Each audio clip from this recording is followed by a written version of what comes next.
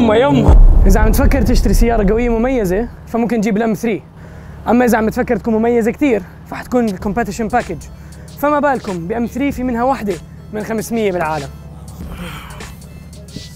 بي إم دبليو أم 3 2017 My wrist stay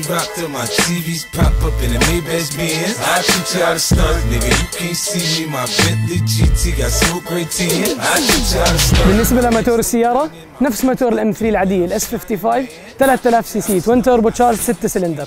الموتور هذا معدل من الشركة عم يعطيني بدل 425 444 حصان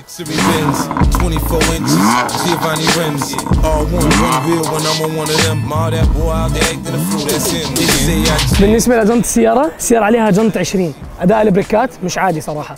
4 pistons بال brake الأمامي و2 pistons بالخلفي. Stunt so hard, everybody gotta watch me. And I don't ال 3 series هي من أنجح السيارات بأسطول بي ام دبليو بتشكل أكثر من 30% من نسبة مبيعات الشركة. بعد إطلاقها ب 11 سنة أصدروا أول ام 3 الام 3 احتفلوا فيها بعد 30 سنة من إصدارها بالسيارة اللي معانا لليوم. ال 30 Jahre.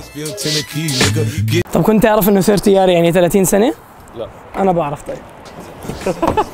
In Maybach Benz. I teach you how to stunt, nigga. You can't see me. My Bentley GT got smoke great tin. I. بالنسبة لجير السيارة في منه عادي واوتوماتيك اوتوماتيك زي اللي معنا اليوم سبعة غيار والجير العادي منها أكيد ستة غيار في شيء كثير حلو بالسيارة هي الكبسة هاي تقدر تتحكم بقوة الجير طبعا سقف السيارة carbon fiber إذا بتطلب فيها فتحة بالسقف راح تخسر موضوع خفة الوزن لأنه هذا كثير أخف من العادي.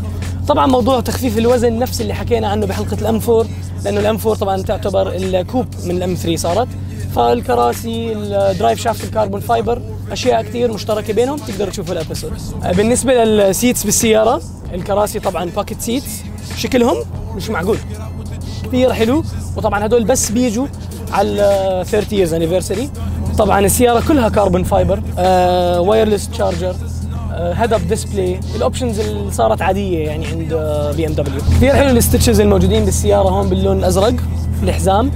يعني جد details كثير صغيرة بس أنا شخصيا بالنسبة لي بشوف هاي details بتفرق. طبعا آه، صوت السيارة مش عادي لأنه عليها sport exhaust من الشركة.